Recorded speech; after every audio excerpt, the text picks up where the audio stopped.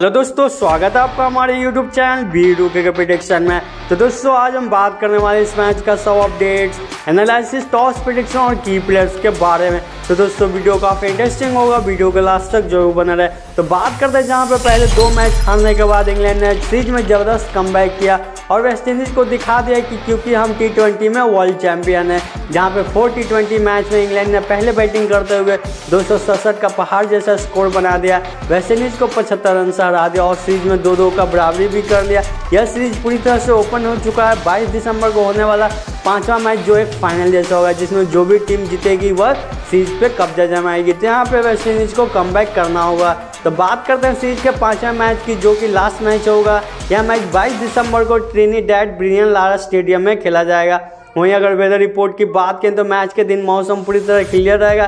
Temperature जहाँ 20 से 22 degree Celsius के बीच रहेगा। अगर विनिंग परसेंटेज की बात करें तो जहाँ पे बैटिंग फ़र्स्ट बैटिंग में यहाँ पे 33 परसेंट जीतने का चांस है। वहीं अगर सेकंड बैटिंग की बात करें तो यहाँ पे सड़सठ परसेंट जीतने का चांस है। अगर पिच रिपोर्ट की बात करें तो एवरेज स्कोर देखें, जहाँ पे फ़र्स्ट इनिंग का एवरेज स्कोर 202 है, वहीं सेकंड इनिंग का एक सौ तिरपन है। अब बात करते हैं दोनों टीमों का हेड टू हेड चेक करते हैं, जहाँ पे टोटल मैच अट्ठाईस खेल के आए हैं। जहाँ पे इंग्लैंड 12 मैच जीत के आए तो वेस्ट इंडीज 16 मैच जीत के आ रही है।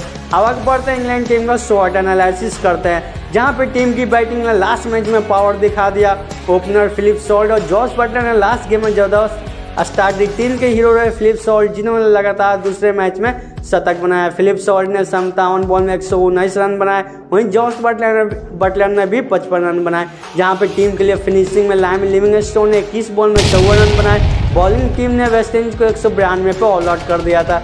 ऋषि टोपली ने सबसे ज़्यादा तीन विकेट लिए थे। टीम के तीन स्पिनर बॉलर के साथ खेल रही, जिसमें मोइन अली हैं आदिल राशिद और रहमान अहमद है। अब बात करते हैं इनके प्लेइंग इलेवन देखते हैं जहाँ पे फ्लिप सॉल्ट है। जॉस बटर विल जैक है Liam Livingstone Harry Brook Sam Curran क्रिक वॉक्स मोइन अली आदिल राशिद और रहमान अहमद और ऋषि टॉपली इनके अगर कुछ की प्लेयर की बात करें तो जहाँ पे फ्लिप सॉल्ट है, जो कि चार इनिंग खेले हैं, रन बनाए, दो सौ तिरानवे एवरेज संतानवे का वहीं जॉस बटल की बात करें तो जहाँ पे चार इनिंग में रन बनाए 150 और एवरेज सैंतीस है। वहीं तीसरी प्लेयर की बात करें तो जहाँ पे आदिल राशिद चार इनिंग में सात विकेट लिए हैं, अगर बॉलिंग एवरेज बात करें तो चौदह पॉइंट सेवन का है। अब दूसरी टीम वेस्ट इंडीज़ का शॉर्ट एनालिसिस करते हैं। तो लगातार दो मैच जीतने के बाद वेस्ट इंडीज़ को लगातार दो हार मिली। इससे टीम का कॉन्फिडेंस थोड़ा सा कम हुआ। जहाँ पर लास्ट गेम में टीम का बड़ा टारगेट चेस नहीं कर पाई और एक सौ बयानवे पे ऑल आउट हो गई। बॉलिंग टीम में चूक गई, फिर भी उन्हें कमज़ोर ना समझे। लास्ट गेम में टीम का वापस मौका सीट जीतने का। लास्ट गेम में टीम के ओपनर ब्रैंडम किंग और कायल मैच ज़रूर फ्लॉप थे। नंबर तीन पर निकोलस प्रो ने तहलका मचा दिया उन्होंने पंद्रह बॉल, उनचालीस रन बनाए। टीम के टॉप परफॉर्मर रहे हिटर एंड्रे रसल जिन्होंने 25 बॉल में इक्यावन रन मारे। लास्ट गेम में टीम की बॉलिंग भी फ्लॉप थी और सभी बॉलर्स मांगे थे। अब बात करते हैं इनके प्लेइंग इलेवन देखते हैं, जहाँ पे ब्रैंडम कीम है।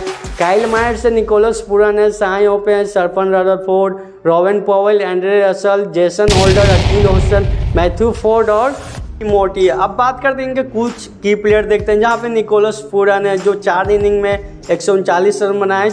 और एवरेज देखें तो चौंतीस पॉइंट सेवन और दूसरी प्लेयर की बात के अंदर जहाँ पे रोवन पॉवल है, चार इनिंग में रन बनाए एक सौ चौबीस एवरेज इकतालीस है। अगर एंडर रसल की बात करें तो इनिंग में चार है रन एक सौ दो है और विकेट पाँच लिए हैं। तो फाइनली दोस्तों, यहाँ पे दोनों टीमें स्ट्रॉन्ग नज़र आ रही है। जो भी टीम यह सीरीज़ मैच जीतेगी, वो सीरीज़ पे कब्जा जमा ली।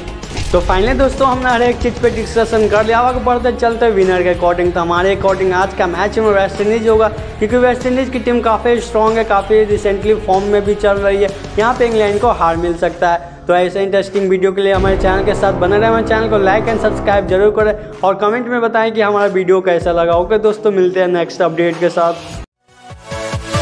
Yeah.